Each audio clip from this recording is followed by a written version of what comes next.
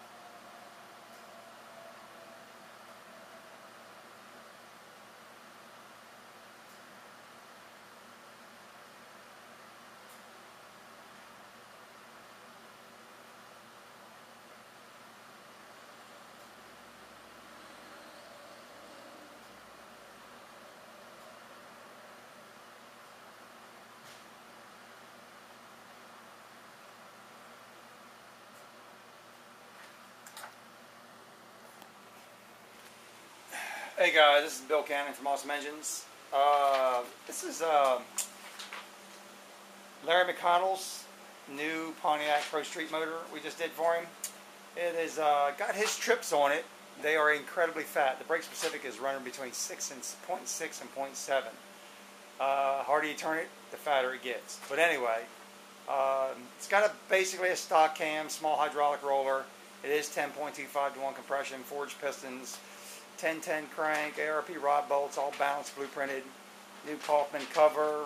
Uh, got a stock distributor with an HEI kit put in it from, uh, I think that is called Flame Power. But anyway, she's dead in the water about 4,800 RPM. But uh, yeah, 346 at 4650 and 469 torque. It never got below 400 until about uh, 3,800 RPM. So it's an animal. It is a little fat. He's got to work on it. I have no jets for it. I just basically put the manifold on and dynoed it for him. And uh, this is going in a four-speed car with a 320, oh, 66 GTO, with a 320 gear, with a four-speed. This thing's going to be an animal. And the acceleration isn't bad. There's no backfire. We did have to run like 35 degrees total timing for the 93 octane. At 30, it wanted to cough a little bit, but I let it warm up, do a cold soak, it's an animal, no oil leaks. I'll let you take a look at it. This is the original Trips. Um, it does have the stock HEI or uh, point style distributor. As you can see, it's got a little flamethrower module with a uh, brazed uh, pickup right onto the shaft. It's got a small tube header hooker, um, stock dampener.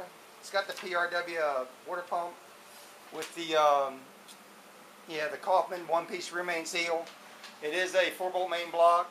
Uh, it's just basically, it's a stock motor, guys. And this thing's swinging a 50-pound flywheel, 15-pound flywheel, or dry shaft underneath that.